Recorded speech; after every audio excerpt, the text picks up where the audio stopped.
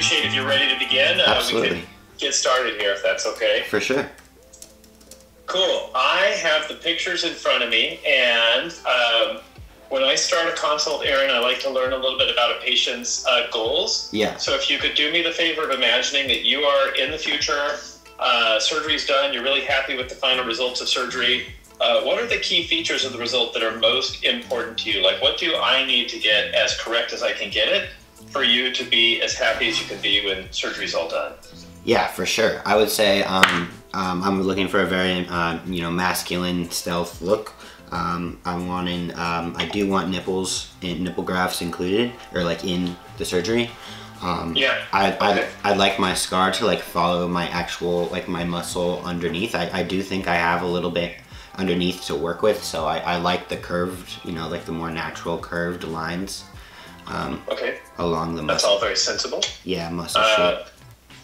I don't see any challenges with this at all. I think you're going to do really well. You've got a great physique, uh, Thank you. athletic overall, and um, uh, and we don't need to join the incision centrally in your chest. So you're going to have you're going to be able to have the two separate scars, uh, which for some people is aesthetically favorable. Yeah, absolutely. Um, you're also a very healthy guy. I don't see really any major concerns here at all. Um, let's spend a little bit of time talking about the steps that lead up to surgery. okay. And then we can talk about the recovery milestones when surgery's done and see what questions remain from there. Okay.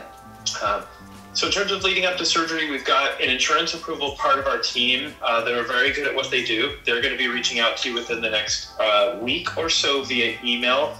So, keep an eye on your email inbox and your junk mail folder. Okay. And then um, once that email is launched, the kickoff email, it will um, probably be about, be about five to eight weeks for them to achieve insurance approval. Okay. And then they'll call you with the good news, help you pick out a date for surgery.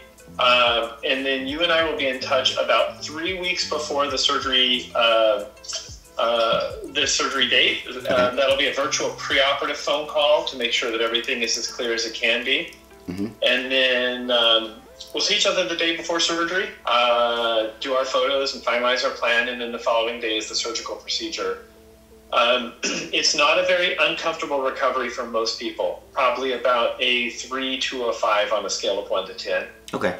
Um, you'll be up and around immediately after surgery, but not doing a whole lot, just kind of taking care of yourself and taking it easy.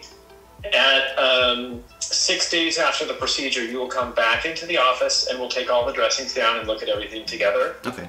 and at um, uh, uh, it's, it's sorry three weeks after surgery you can get back to cardio so that'd be like running and cycling and that sort of stuff Okay. and then at six weeks after surgery you can get back to kind of um, normal heavy exertional activities including going back to the gym and and uh, doing heavy lifting and that sort of stuff Okay.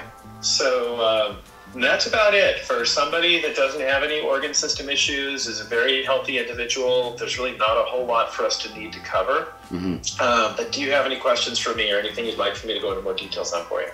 Um, I don't think so. I think the only question that I did have is um, obviously uh, like sometimes people like worry that like with like skin skin situations, but I was just curious if uh, you thought that like using um, like tran- like trans tape for your chest would prevent um, like it would cause any kind of trouble for like skin wise.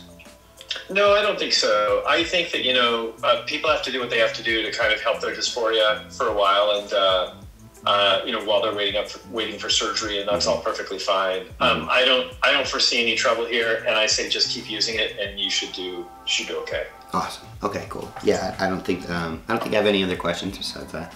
Cool. All right. If there's anything else that comes up, uh, please feel free to just reach out to the team, and they will answer anything they can answer. Mhm. And if there's something that they can't answer, then they'll just get us uh, back in touch with one another via telephone.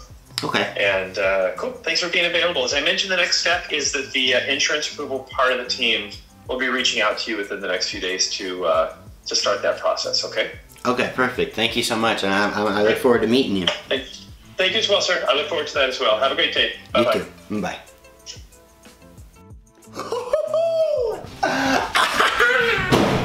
Yeah. I'm so excited. Oh, I had to get that. Yeah.